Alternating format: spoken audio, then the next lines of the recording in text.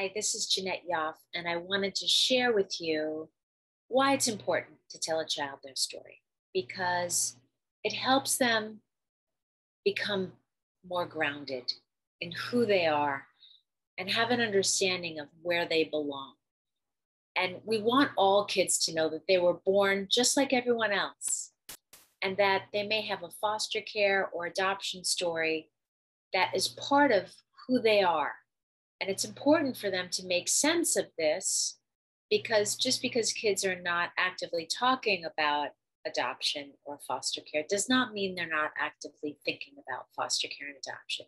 So we want to respect their inner life because there's a lot going on in there for an adopted person. And telling them their story helps them have a better foundation of who they are in understanding their cultural, ethnic, racial identity, helping them understand where they come from, who their parents were, and what was the reason that they could not stay with their family of origin is really important for kids to understand because when they don't have this information, they're going to make up stories. And usually the story is not positive, it's usually a negative story. And typically, because kids are egocentric, they're going to blame themselves. So the child is going to create an internal story that doesn't support their self esteem or identity and healthy development. It's going to compromise their self esteem, make their lives feel more challenged internally, which in essence will create more mental health challenges down the line. So children do need to know their story. We want to help them make sense of what happened to them. And storytelling and writing, journaling, poetry, the expressive and visual arts, dance, theater, like I did with my play, help me organize. It really helped me look back and index, classify, identify feelings, thoughts, sensations, give myself a voice to an experience that I did not have control of.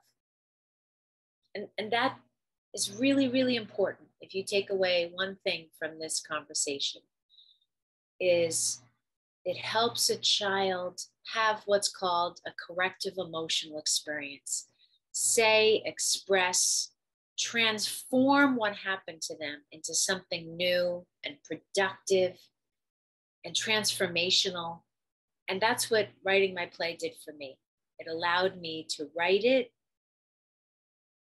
express it perform it take responsibility and share my story with the world. And for me, it helps me validate and ground my experience in such a deeper emotional and psychological healing process.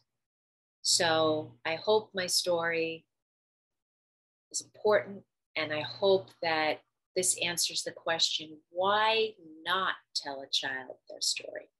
It helps them develop, grow greater self esteem, confidence in knowing who they are and where they belong.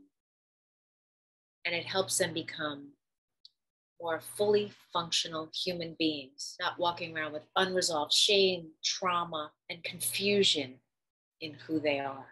So I encourage you to help a child understand and make sense of their story through many of the modalities I expressed here today. And I wish you all well. Thank you.